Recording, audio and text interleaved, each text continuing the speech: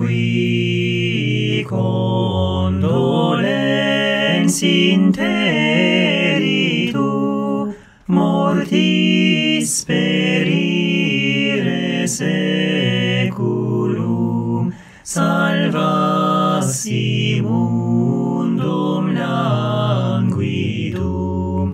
donans reis reis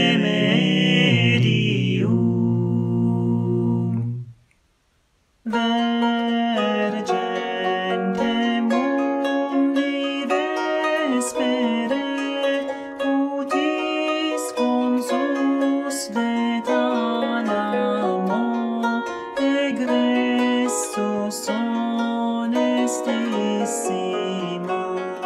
Virginis matris claus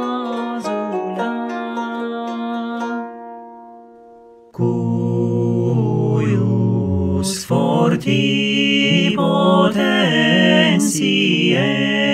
genu curvantur omnia celestia terrestria nutu fatentur subdita.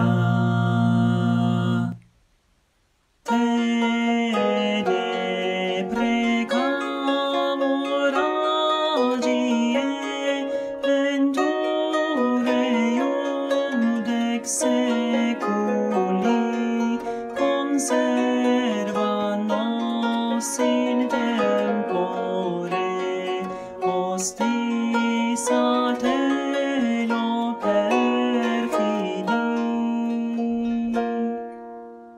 Laus honor virtus gloria de